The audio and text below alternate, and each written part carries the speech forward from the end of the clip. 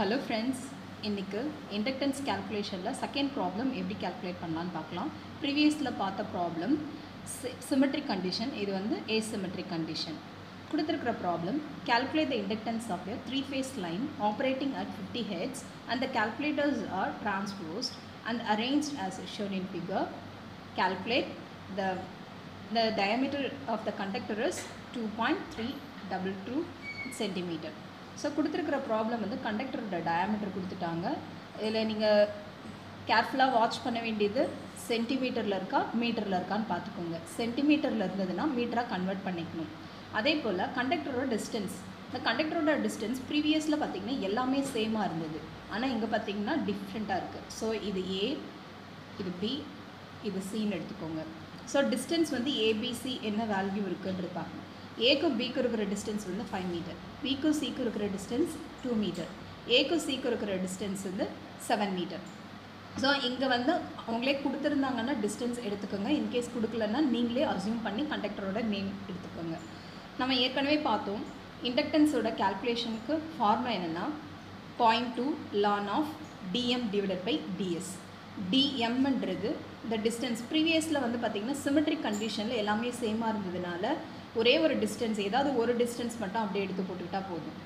ஆனால் இங்கே வந்து வேறு வேறு டிஸ்டன்ஸ் இருக்குது அதனால டிஎம்க்கு ஃபார்முலா என்னென்னா எல்லா டிஸ்டன்ஸையும் மல்டிப்ளை பண்ணி இங்கே வந்து கியூப் ரூட் எடுக்கணும். ஏன்னா மொத்தம் எத்தனை கண்டக்டர்ஸ் இருக்குன்னா த்ரீ கண்டக்டர்ஸ் இருக்குது அதனால cube root of distance between each conductors AB BC AC so இதில் வந்து ஏபி பிசி ஏசியோட வேல்யூவை நம்ம கேல்குலேட் பண்ணணும்.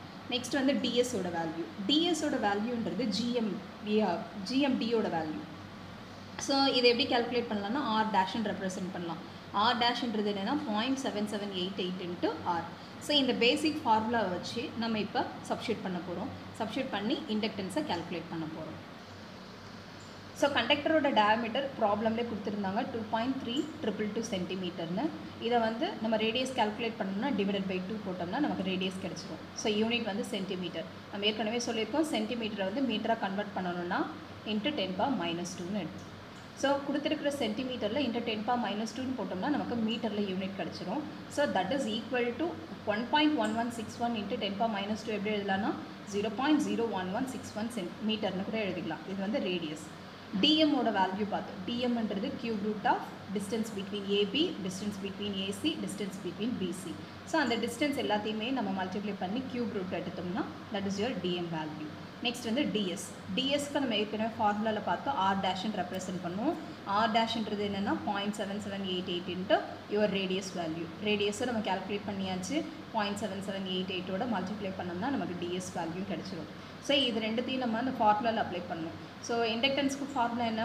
Point two ln of DM divided by DS டிஎம்மோட value நம்ம கேல்குலேட் பண்ணோம். That is four point one two divided by டிஎஸோட value nine point zero one two இதை நம்ம கேல்குலேட்டரில் சிம்ப்ளிஃபை பண்ணோம்னா நமக்கு final answer one point two two four four millihenry per கிலோமீட்டர்னு கிடைக்கும். இங்கே ஏன் நமக்கு மில்லி ஹென்ரியில் யூஸ் பண்ணுறோம்னா பாயிண்ட் டூ லான் இந்த ஃபார்முலா யூஸ் பண்ணோம்னா மில்லி ஹென்ரி பர் கிலோமீட்டர் இதே two into ten power minus seven ஒரு ஃபார்முலா இருக்குது அதை யூஸ் பண்ணோம்னா ஹென்ரி பர் மீட்டர்னு மட்டும் கிடைக்கும். ஸோ யூனிட்டை கேர்ஃபுல்லாக செக் பண்ணிக்கோங்க.